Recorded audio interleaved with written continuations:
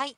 沈没した観光船カズワンは、今後、民間船の海進により網走港に陸揚げされる予定です。